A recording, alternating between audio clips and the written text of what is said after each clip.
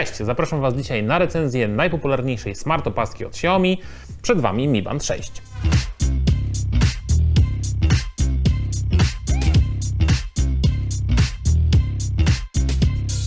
Oczywiście zaczynamy od nowości. Przede wszystkim zmienił się ekran. W tej chwili opaska ma aż 1,56 cala i jest to największy ekran w historii Mi Banda. Opaska nie urosła, jeśli chodzi o sam fizyczny rozmiar, powiększył się jedynie ekran. W tej chwili zagęszczenie pikseli wynosi 326 na cal, a ekran to oczywiście AMOLED, więc mamy wyświetlanie perfekcyjnych czerni, a także bardzo żywe kolory i całkiem przyzwoitą jasność. Sam rozmiar i długość opaski także się nie zmienił, wykonana jest ona dalej z silikonu, pasek także nie uczula, przynajmniej mnie, więc myślę, że jest dobrym wyborem dla każdego. Oczywiście konstrukcja samej opaski się nie zmieniła, jest to gumowa opaska wraz z pastylką, którą możemy wyjąć, ale nie musimy jej wyjmować, dlatego że rodem z Mi Banda 5 ładowanie zostało przeniesione do najnowszej wersji. Mamy po prostu magnetyczną ładowarkę, którą wpinamy w dwa piny pod spodem urządzenia, no i w ten sposób ładujemy naszą opaskę. Kolejną bardzo ważną zmianą jest pomiar SPO2, czyli saturacji czy też nasycenia tlenu w naszej krwi. Ze względu na obecną sytuację pandemiczną jest to pomiar niezwykle ważny. Pulsoksymetry stały się modnym gadżetem ostatnich miesięcy, pozwalają na monitorowanie nasycenia naszej krwi. Najnowszy Mi Band saturację mierzy bardzo precyzyjnie i jest to dobry dobry dodatek jak na cenę samej opaski, dlatego że urządzenie kosztuje w okolicach 200 zł, mm, a sam pulsoksymetr potrafi kosztować około 60, więc kupując smart opaskę, jeżeli macie szereg innych funkcji, to także dobrze sprawdzi się w tej roli. I na tym mógłbym w sumie zakończyć wymienianie nowości. Nie ma ich zbyt dużo, natomiast powiedzmy sobie jeszcze o samej opasce. To co zauważyłem, to wydaje mi się, że jest bardziej precyzyjny pomiar tętna w tej chwili. W Mi Bandzie 5 podczas treningu miałem problemy z tym, że czasami opaska po prostu nie łapała tego tętna. Tutaj podczas godzinnego treningu na siłowni nie zauważyłem tego problemu. Pomiar jest ciągły i co najważniejsze dokładny. Bez problemu mogę odczytać dany wynik z konkretnej godziny podczas treningu. Widać rzeczywiście na przykład wzrost czy spadek zmęczenia. Jest również pomiar na różne fazy tlenowe i jest to fajnie wskazywane na naszej opasce. Opaska potrafi naprawdę mierzyć trening bardzo dobrze i ma bardzo dużo trybów. Jak na smart opaskę jest to dość zaawansowany gadżet, możemy mierzyć najpopularniejsze, jak i te najdziwniejsze treningi i to jest naprawdę bardzo dobre. Sama aplikacja oczywiście to MiFit, tutaj się nic nie zmienia, synchronizacja jest bezproblemowa i w łatwy sposób y, synchronizuje się też chociażby z aplikacją zdrowie w iPhone'ie. Treści są podawane bardzo dobrze i zrozumiale dla każdego użytkownika, więc mimo tego, że opaska mierzy naprawdę sporo, to jest w stanie podać nam te wyniki w prosty i zrozumiały dla każdego sposób. Nawigacja w Mi Bandzie 6 odbywa się poprzez gesty. Przesunięcie w lewo to cofnięcie się, a poprzez przesunięcie do góry wchodzimy w menu.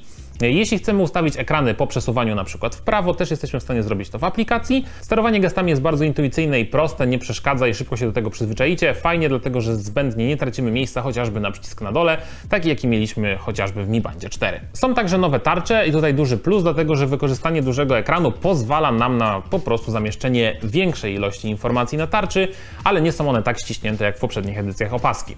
Dzięki temu mogę spokojnie mieć odczyt pogody, kroków, spalenia kalorii, tętna, godziny, daty, a to wszystko wygląda bardzo estetycznie i nie jest przepełnione, więc tutaj duży plus. Tarcze oczywiście możemy personalizować, mamy także mnóstwo dostępnych tarczy po zainstalowaniu naszej aplikacji, możemy wgrać tarcze ze sklepu Xiaomi, jest w czym wybierać, więc myślę, że każdy znajdzie coś dla siebie lub po prostu zrobi własną. Odpaska jest oczywiście wodoodporna, producent mówi o 5 atmosferach, więc bez problemu możecie pływać w tej opasce. Dużo osób pyta, czy Mi Band ma pomiar na przykład y, właśnie basenów. Tak, jest taka możliwość. Mamy tutaj normalnie tryb pływania, więc jeśli ktoś trenuje na basenie, to jest w stanie zapisywać swoje wyniki właśnie na Mi Bandzie 6. Na plus także przy dużym ekranie powiadomienia. Oczywiście są one wyświetlane na wąskim ekranie, więc dużo wyrazów przeskakuje do następnej linii. Natomiast fajne jest to, że Mi Band wspiera wszystkie polskie znaki, nie ma niestety wsparcia emotek, natomiast nie ma jeszcze w opasce na dzień yy, nagrywania tej recenzji, czyli na 23 kwietnia, nie ma jeszcze obsługi języka polskiego. Sama opaska jest w języku angielskim, ale myślę, że jak to w przypadku Xiaomi bywa, kwestia czasu i niedługo pojawi się update wraz z językiem polskim. Jeśli chodzi o baterię 125 5 mAh przy włączonym pomiarze tętna co minutę, przy regularnych porannych treningach, a także przy mierzeniu nasycenia krwi i korzystaniu po prostu z opaski normalnie z powiadomieniami i tak wytrzyma Wam około 5 dni. Nie są to te czasy Mi Banda, gdzie ładowało się to raz na miesiąc czy półtorej. I tak wydaje mi się, że jest to naprawdę dobry czas, dlatego że samo ładowanie opaski trwa około godziny. Nie ma tutaj zbyt dużego akumulatora, więc y, tak naprawdę wystarczy ją naładować podczas jakiegoś y, prysznica, czy po prostu krótko przed pójściem spać, żeby móc cały czas nosić ją na sobie i mieć też wskazania snu. Jeśli chodzi o wskazania snu, są one zapisywane poprawnie. Tutaj nic się nie zmieniło, nie zauważyłem różnicy w stosunku do poprzednich Mi Bandów. Podsumowując, jeśli jesteś maniakiem Xiaomi, potrzebujesz najnowszego Mi Banda, oczywiście leć do sklepu, ale to nie jest dla Ciebie recenzja. Jeśli natomiast zastanawiasz się nad tym, y, czy zmienić na przykład Mi Banda 4 czy 5 na szóstkę, mm, tak dużego przeskoku nie zobaczysz. Jeśli masz starszego Mi Banda, tutaj przeskok technologiczny będzie znaczny. Mm, czy warto zmieniać Mi Banda na rzecz tylko większego ekranu i pulsoksymetru? Pytanie, jakie masz potrzeby. Jeśli to wskazanie jest dla Ciebie niezbędne, no to warto.